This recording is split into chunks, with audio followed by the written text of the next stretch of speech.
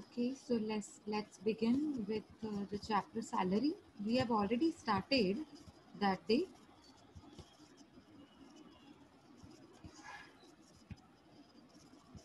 Uh, I told you what is all included in the definition of salary. Yes. What is basis of charge? Due or receipt basis, whichever is earlier.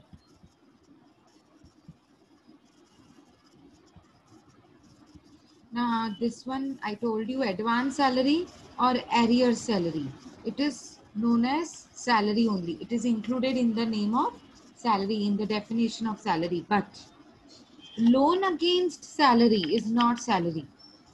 See, advance salary is salary because it is going to be received before the due date by the employer, oh sorry, for the employee from the employer. Okay uh, Uh, you you are taking advance salary. Maybe you are taking advance salary for 2 3 months. So that is your salary only no? You are going to get it after 2 3 months right? So that advance salary becomes salary only because included in the name of salary because on the receipt basis it is taxable. The due date will come late later on. Little late maybe after 2 months okay but you have taken advance salary before two months only. So it is taxable in the name of salary on receipt basis. That means you have received already and the due date has not yet come. Okay, so that is known as advance salary. And what is arrears of salary? Arrears of salary means outstanding salary. So outstanding salary means if suppose you are going to get salary of this month, suppose the month of October, you but you are getting it in the month of November. Okay, so that becomes my arrears salary. Arrears means outstanding. So the due date has already come. No, the due date has already come. The receipt date has not yet uh, uh have arrived. Are you getting my point? Therefore, on the due basis, the salary is taxable because it is arrears of salary. The due date has come, but not the receipt date. Okay, now one point you have is loan or advance. It is one and same thing. Huh? If you if you say advance or if you say loan, loan given to somebody, advance given to somebody. Now, if suppose, if suppose in the name of salary against a salary if your employer if your boss gives you loan. And that loan is something that you have to give it back to your employer. Only then the salary will be received. Are you getting my point? See you're not getting advance salary. You're not getting outstanding salary. No.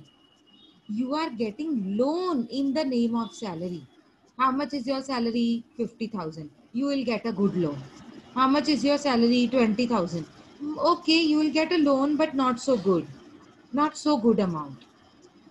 So based on the amount of salary, you will get a loan. And remember, the amount of loan has to be given back to the employer. Whereas advance salary will not be given back to the employer. It will be adjusted on the due date. No, if suppose you are receiving the advance salary of December month, you are receiving the advance salary of December month, no? So when December will come, employer will not give you the salary. Neither you will have to pay him back anything. No, you don't have to pay him back. Whereas if if uh, uh, your employer has given you loan, okay, so if he tells you by December you will have to pay me, Yes, then when December comes, you will have to pay him back. What? The amount of loan that you have taken from your boss, from your employer. Are you getting the difference between advance salary, arrear salary and uh, loan against salary? The word against is very important. And it is loan against salary. It is not salary so this will never be counted. This will be different from salary. See the first, first, sentence is given is loan is different from salary. It is not one and same thing. Whereas two other points that are given advance salary and salary, arrears of salary, they will tell you that it will be taxable. Normally, it is known as salary only. One is on due basis, that is arrears of salary, and advance salary is uh, receipt basis.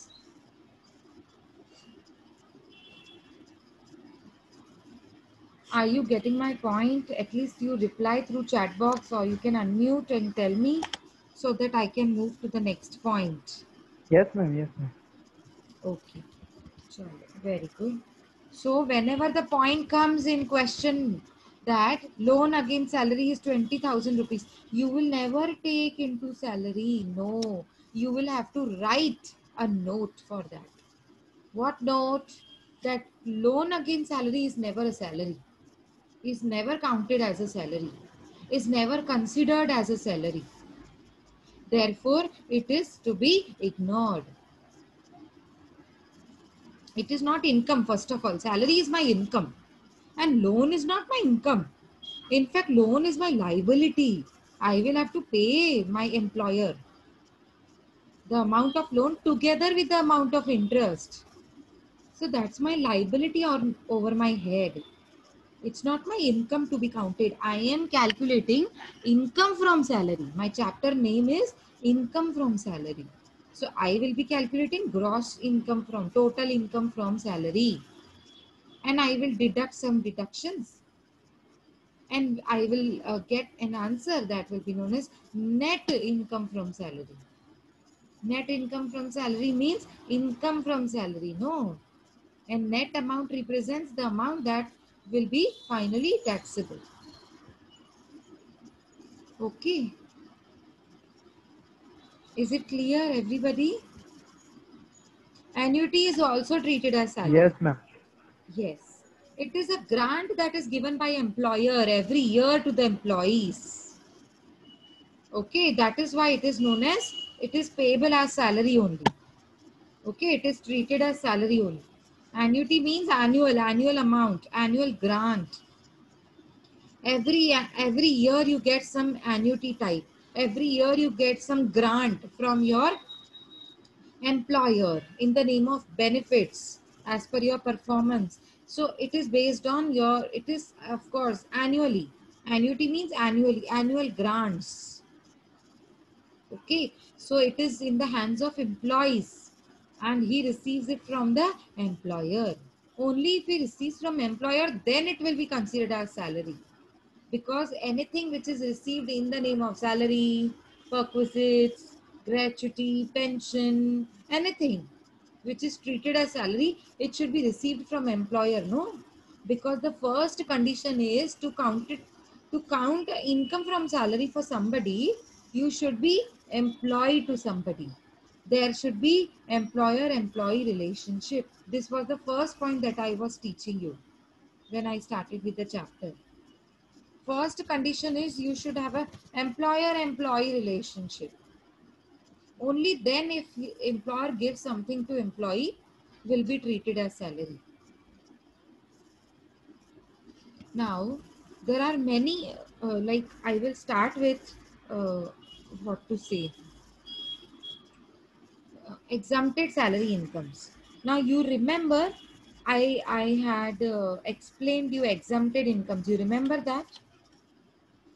I had already, yes. So exempted incomes, whenever I say exempted incomes, it is section number 10. Somehow you remember this.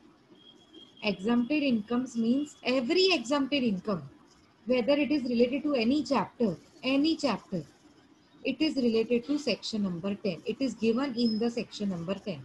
So I'm writing here section 10 exempted salary income. Now what I am teaching you is earlier I taught you the chapter of exempted incomes, only exempted incomes. Those were the incomes which were general incomes, general, not specific. Those were general incomes. Now common, common. Okay. Now I am teaching you about section 10 it is also about exempted incomes, but those incomes are counted as salary incomes. Those incomes are salary incomes. Something which employer gives you becomes salary income. Yes. And those salary incomes are either fully exempted or partly exempted or something exempted, something is not exempted. We will understand one by one. We have so many. So first is leave travel allowances. It is section number, sorry, uh, the spelling is missing.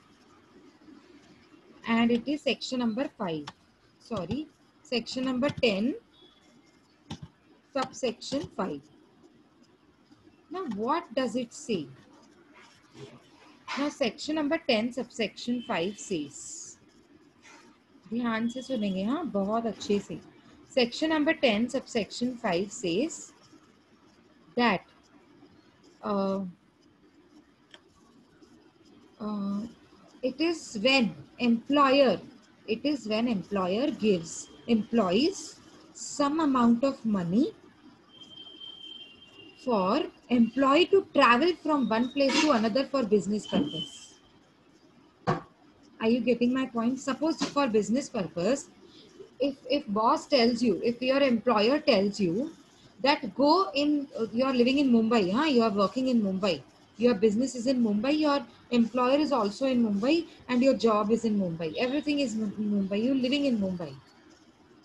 Now your employer is telling you i have set up a branch in bangalore go in bangalore flourish my business there and come back after uh, maybe three four years uh, three three four months. Okay do marketing there okay and uh, and then you can come back after three four months. So three four months you have to stay there you have to eat there okay. So you have to take a rented house maybe maybe in a hotel. Maybe you have to eat some something from outside right? So you have to spend many things. You have to travel through air, through maybe train, um, maybe through car. Okay, so traveling expenses also you would incur. And everything is reimbursed by the employer. What do you mean by reimbursed? Bharke dena. Once you once you uh, spend the money, and then later on, after coming back to your native place, the employer will give it back to you. That is known as reimbursement. Re re means vapas again Reimbursement means uh, uh, it will be paid back by the employer to you.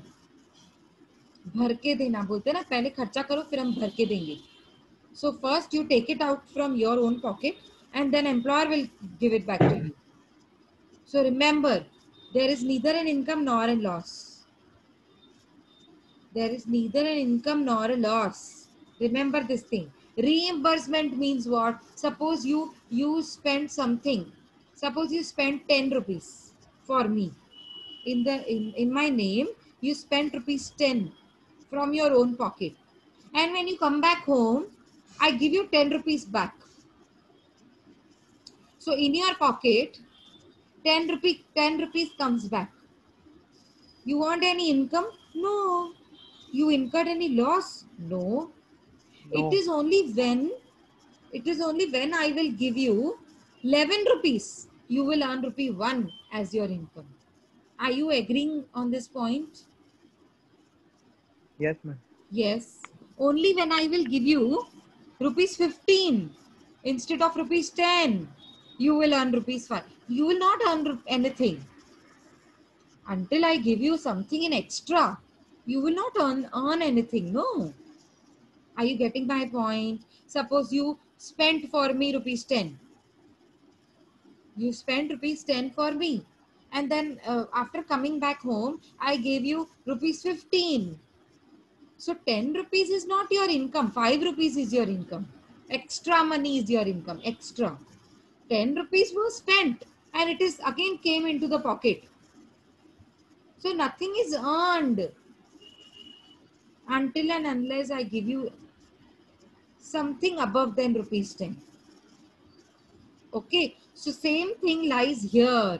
Leave travel allowances. Let's look at this point. uh, and try to understand here. He must have given it here uh, somewhere around maybe. Wait, let me search. Definitely it must be there. Don't worry. I will search and I will tell you.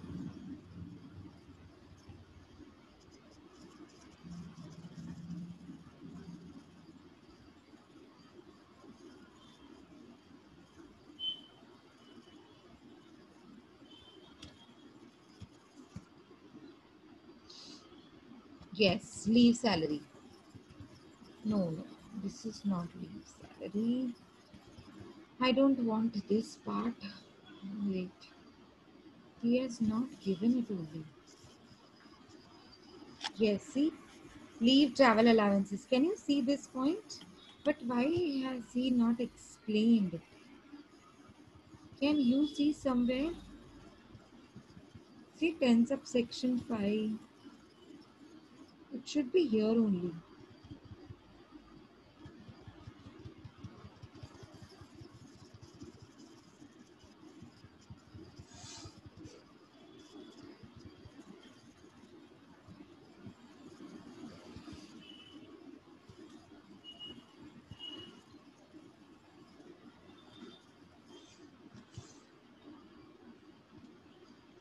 It's not there, no?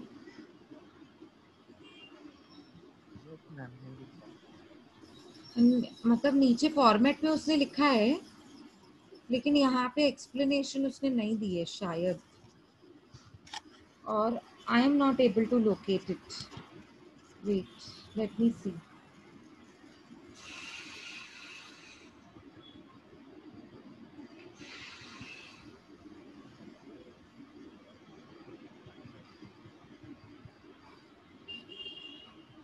No, it's not given. Okay, I'll tell you here only. I will explain here only. Don't worry.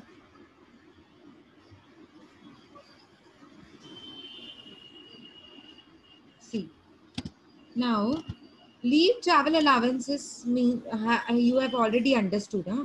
Now, suppose you are traveling to Bangalore. As per the orders given by your employer, you are traveling to Bangalore now your air ticket your your uh, expenses on food your staying expenses cost you rupees 40000 cost you rupees 40000 for one month. So you are staying for two months in bangalore. How much it cost you in total? 80000 how much it cost you in total? Yes 18 80000 80 80000 Yes. So suppose you have spent rupees 80,000. 80,000 is spent amount, huh? Spent. Whatever is your expense is 80,000 in the name of boss. You are not doing it for your own, own self. You are doing it for your boss, your employer. So 80,000 is spent by you for your employer. Now when you come back after two months, employer will ask you, how much did you spend? How much did you spend? You will say uh, uh, 80,000. Your employer will give you 1 lakh rupees because you have worked for him, no? So he's too happy and you have flourished his business there. Okay, you have grown his business there. So he is very happy from you. Therefore, he is giving you 20,000 rupees extra. So what is your income here? See, 80,000 is not an 20,000. income. 80,000 which is spent and then it, it again come, comes back to your pocket. It is not an income, dear. Reimbursement is never an income. Okay. Spent some for somebody else. Reimbursement means spent for somebody else and given back by him. Given back by that particular person. For somebody who has, for whom you have spent. And when he give it back to you, he gives it back to you, it is not an income. Okay. So what is an income if he gives extra amount to you? So what is an extra 20,000. amount? Yes. And this 20. 20,000 will be taxable. This 20,000 will be taxable. So what amount will be exempted? The amount spent will be exempted.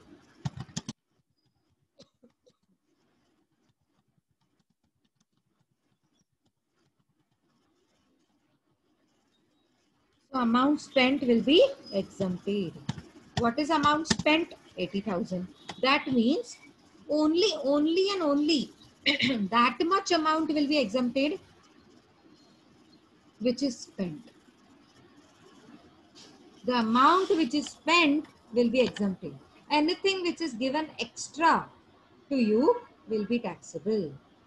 Are you getting my point? We are we are trying to understand section 10 as per salary incomes. And what is given in the section 10 exempted salary income exempted means tax free exempted means tax free so what amount here will be tax free 80000 what 80,000. amount here very good what amount here will be taxable 20000 20,000. Yes. So it is not completely exempted. Huh? It is not 100% exempted. Exemption is not given completely. Yes, but they will give you exemption. Some amount will be exempted. Which amount will be exempted? The amount which is spent. The amount which is spent.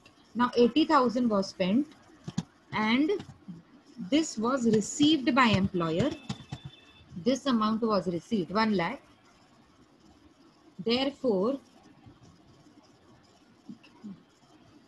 sorry 20000 will be taxable so i hope you understand yes. Did you understand this much? Yes, ma'am. okay. So the next point is second point. And the second one is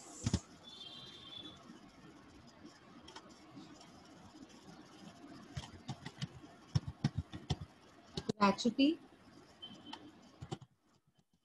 section 10 subsection 10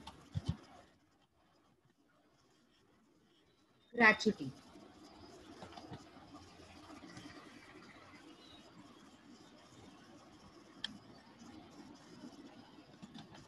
Hmm. now oh wait i'll tell you here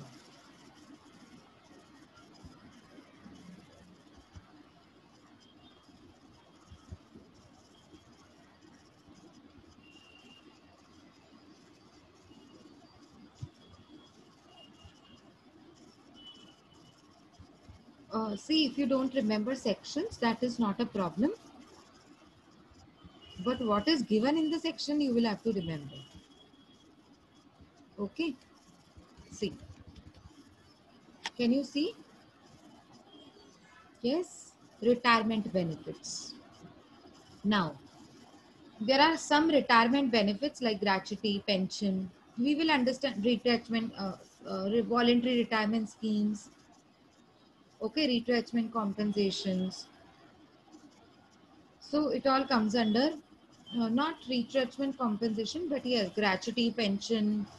It comes under retirement benefits. Leave salary somewhere also because after retirement some people gives you employer gives you if employer gives you uh, leave salary it will be considered as retirement benefit.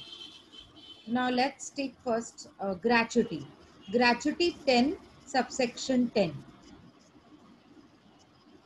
now take divide it is divided into two parts first of all. Oh sorry three parts. First is government employee. If gratuity is received by government employees fully exempted suppose you work under government in the government company. Okay and you are government employee. Government is your employer who is who is the government? I hope you understand. Okay? And uh, if central government state government or local authority any any uh, government is your employer and you are working under the government. So if you retire maybe maybe on the death maybe on the retirement and maybe on the terminal when you leave the job. Okay so amount a lump sum amount is received by employee is known as gratuity. It is always known as retirement benefit. Okay? So it is lump sum amount that is received from employer on the on either on death or on retirement or on terminal. Okay? It is received by employees from government because you are a government employee. So it will be wholly exempted. See it is written here Can you see this word I have highlighted? Wholly exempted. Yes, can you read this point? The highlighted part. The whole it the in the gratuity amount which is received by employees, government employees, will be wholly exempted. Wholly means completely exempted. So whenever in the question he tells you that a particular person is a government employee and he receives gratuity of 10 lakhs rupees. So you will say it is completely exempted. 10 lakhs minus 10 lakhs and outer column 0. Because he's a government employee and it is completely exempted. Exempted means tax free. Whatever he receives, no tax will be payable by him on that amount. Because he is government employee, the benefits are given to him because he's a government employee. That is why everybody say no. We want to we want to do government job. We want to work under government. Right? We want to have a government job. That is why there are so many benefits, so many, so many benefits. We will understand slowly and slowly. Okay, next point. See, look at the next point. In case employee covered under Payment of Gratuity Act 1972. Now see, Payment Gratuity Act was made in 1972 and who whoever was covered in this section in this act will also be given the benefit of exemption, but not completely. Yes, they will be given exemption, but the least of the following. The least of the following means जो इन तीनों में से कम होगा सबसे कम वाला amount होगा देखो तीन ऑप्शंस है there are three options and and the amount which will be calculated with the help of these three options the least amount will be taken as the exemption limit and what are the three options? The first is, remember always the first is actual gratuity received. Actual, actual amount received of gratuity. actual amount received means suppose fr from your employer you have received 5 lakhs rupees in the name of gratuity. So 5 lakhs will be your actual amount. Okay, what is the maximum limit? What is the maximum limit? It has been changed now. Huh? Uh, okay, uh, so far right now, abhi ke liye aap 10 lakhs hi padhiye. Change होगा तो मैं आपको बता दूँगी, ठीक है? It is twenty एक minute मैं ना आपको अभी बता देती हूँ। Yes it is twenty lakhs हाँ?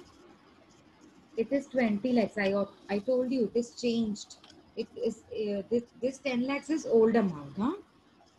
Okay so you have to take it as twenty lakhs so first condition is actual gratuity receive second is twenty lakhs and third formula is 15 by 26 uh, this is 26 days huh 15 by 26 into average salary now how will you calculate salary it is given in the um, bracket so you can take this formula 15 upon 26 into 10 months average salary into number of years. Suppose you have worked in the company for 20 years. So you will multiply by 20 years. Number of years will be 20. Everything will be given. Don't worry. See, what is average salary? Monthly salary. What is 10 months average salary? Take monthly salary. Suppose your monthly salary was 50,000. So 50,000 into 10 months into 10. So it will be 5 lakhs. So 5 lakhs into 15 upon 26 into 30 years of service into 40 years of service into 46 years of service whatever the number will be given did you understand? Now suppose i applied this formula 15 upon 26 into 10 months average salary into number of years. I got the amount is 30 lakhs. The total amount after multiplying dividing everything i got the amount is 30 lakhs. The amount was 30 lakhs. And this amount is 20 lakhs. And actual gratuity received is 5 lakhs. As per the example huh? i told you no gratuity received is 5 lakhs. Okay and the the maximum amount which is exempted is 20 lakhs it is standard for every sum 20 lakhs and whatever you have calculated in this formula the answer is 30 lakhs So whichever will be least, see this word which I'm highlighting. The, to the, the exemption will be given to the extent of least of the following. Least means minimum, uh, which is the which is the lower amount. The lowest amount will be taken. What is the lowest amount of all? 30 lakhs, 20 lakhs, 5 lakhs. Three figures are there with you. What is the total amount? I mean, what is the least lakhs. amount? 5 lakhs. Least. Least means 5 lakhs. Yes. So 5 lakhs will be taken and it will be exempted. What amount you have received? What amount did you receive from the employer? What amount did you receive from the employer? Gratuity में कितना 30 amount? lakhs. अरे नहीं आप वो thirty lakhs तो मैंने ये formula से निकाला थर्टी लैक्स तो मैंने ये फॉर्मूला से निकाला मुझे ग्रेचुटी कितना मिला था Yes, ma'am. कितना मिला था ग- अ, मेरे बॉस से कितना मिला था gratuity five lakhs 5 lakhs. Ah, actual gratuity received from employer 5 lakhs rupees अच्छा 5 lakhs rupees गव- मुझे एम्प्लॉयर से मिला उसके बाद ये तीन ऑप्शंस मैंने लगाए after applying these three four options I picked up rupees 5 lakhs as the least amount I picked up rupees 5 lakhs as a least amount as an exemption so what is amount received? 5 lakhs. What is amount exempted? 5 lakhs. Therefore, nothing is taxable. Nothing is taxable. Are you getting my example? Yes, are you getting my example? Yes or no? Yes, ma'am. Okay.